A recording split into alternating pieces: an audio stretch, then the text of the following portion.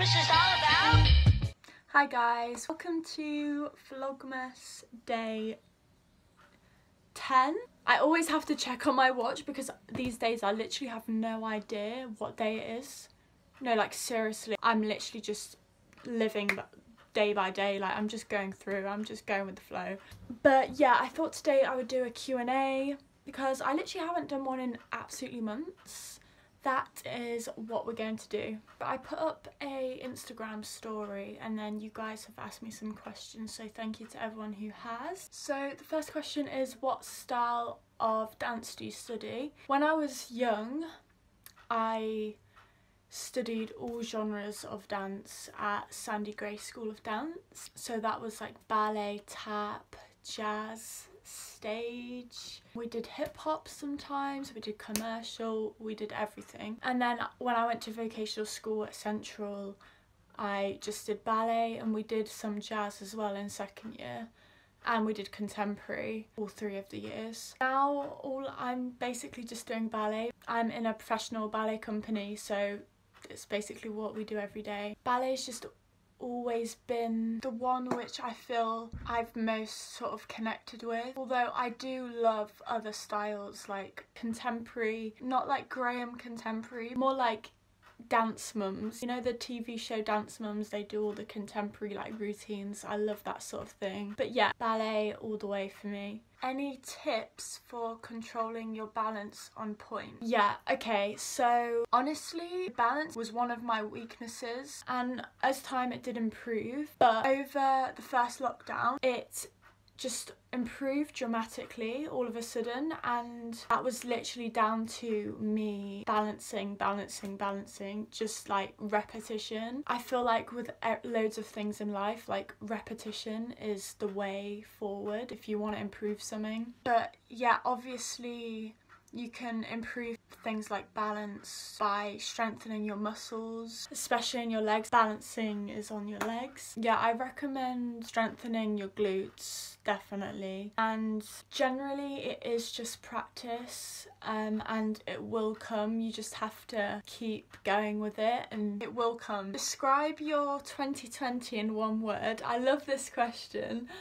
Um, gosh. Um, Oh, this is so hard because there's like so many different words I could describe it as. But I think, oh, I think 2020 for me has been unpredictable. I think that that word sums up. But that's not necessarily in a bad way at all. With like me joining a ballet company was just so unpredictable because obviously with the virus everything just got so much harder to get a job and just the whole industry is just so so tough anyway.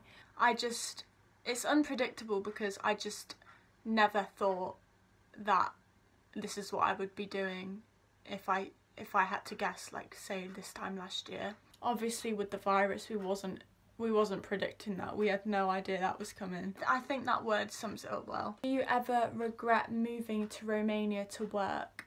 Miss home question mark. Absolutely not moving to Romania and starting my career it was one of the best things I've ever done. I don't regret it one bit. I absolutely love it out there. Being a professional ballet dancer is literally everything I thought it would be and more. I really do love it, even though it is so hard, mentally and physically. It's so worth it. Honestly, if you're training right now and finding it hard because year is tough like with getting your show reels ready, your audition photos, trying to find companies alongside all your schoolwork and like classical training, it is tough. But if you do want to become a ballet dancer, then just know that it is so worth it.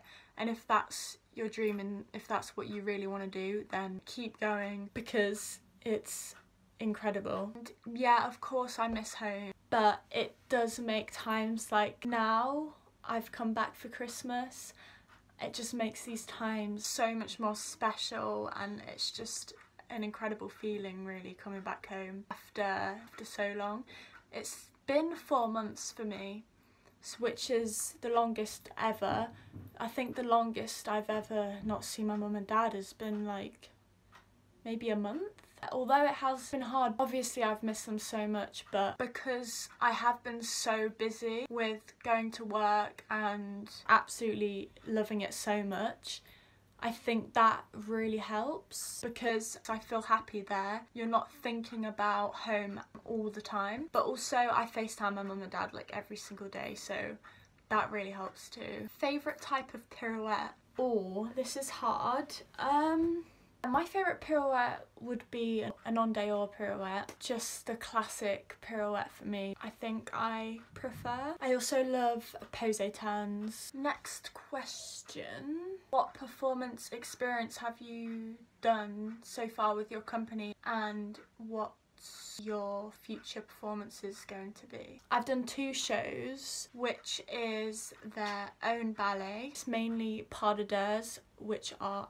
absolutely beautiful. Music is stunning. The choreography is also so beautiful and the part I did was the trio and there were actual ballet barres on the stage. I absolutely loved it. It was actually my debut performance. Yeah, it was just in an incredible feeling. And I also did another number which was three like couples and that was so fun to dance, it really was. And then I performed in an opera called Liliacul. I really love doing that too. I just love being on stage. And then for future performances, we was literally just about to do Don Q oh my gosh I was so excited I just loved what I was doing so I'm really hoping that when we go back we can continue with that and we can perform it because I just love that ballet so much it's so much fun. We was also working towards a new premiere. The company is creating another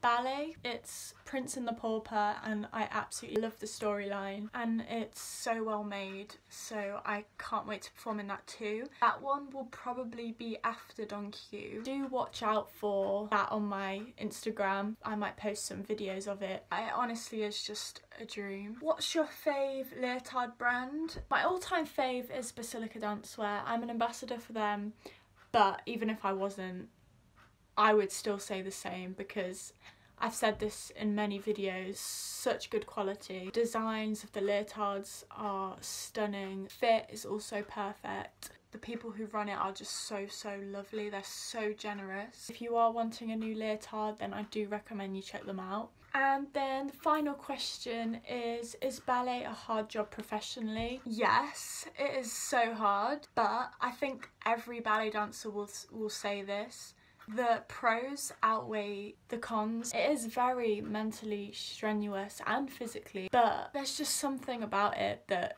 just makes you want to do it, even though it can be so hard at times. Although some days may be really hard mentally and physically, there are days which are not so much and which just make you feel amazing. So them days do make up for the bad days. I think for me the the reward of performing I think that's what really does it for me. But also just so many things like also just being in class and doing a ballet class with a live pianist like to that brings so much joy to me. I just love the art form so much. The real profession is actually harder than training. It does just go up a notch but again, like I've said, it is just amazing. So, because it is so mentally and physically strenuous, it does make you such a strong person. But yeah, I really wouldn't change it for the world. That's all my questions for today. I hope you've enjoyed it and I hope you are enjoying my vlogmas. Please do comment down below if you have any requested videos you want me to do because especially when you're in quarantine, it is hard to get content because obviously there's only so much you can do inside. This is like the first time where I've actually been in like isolation because obviously I came back from a different country. Whereas like before I could still go to the gym so it there was a bit more variety in my content. So yeah, please do give me a shout if there is anything you want me to do. But yeah, other than that, I hope you're all having a lovely day And yeah, I'd really appreciate if you could like this video and subscribe to my channel. Thank you so much for watching and I'll see you tomorrow. Oh, tomorrow I'm actually baking something really good, so watch out for that. Although it's been said many times, many ways, Merry Christmas.